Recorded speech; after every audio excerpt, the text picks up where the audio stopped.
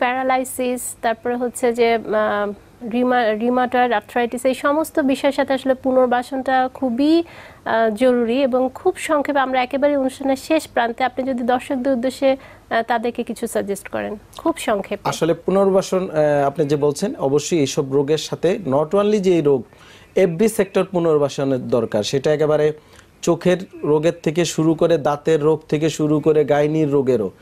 Gynae specially উন্নত বিশ্বেও কিন্তু post delivery তাকে রিহ্যাব করতে হয়। না হলে সে কিন্তু আরেকটা বাচ্চা নিতে তার সমস্যা হতে পারে। এবং অনেক সময় দেখবেন মানুষ বয়সের সাথে যখন তার শারীরিক পরিবর্তন আসে তখন যদি রিহ্যাবিলিটেশন না করা সে কিন্তু বুড়ো হয়ে যায় তাড়াতাড়ি। তো এই প্রত্যেকটা জায়গায় আসলে বড় একটা বিষয় এবং এ নিয়ে হয়তো আমরা পরবর্তী পর্বে আরও বিস্তারিত আলোচনা করব। আপনাকে অসংখ্য ধন্যবাদ জানাচ্ছি আমাদেরকে সময় দেবার জন্য। আপনাকে অনেক ধন্যবাদ। এসএ টিভির দর্শকদেরকেও ধন্যবাদ।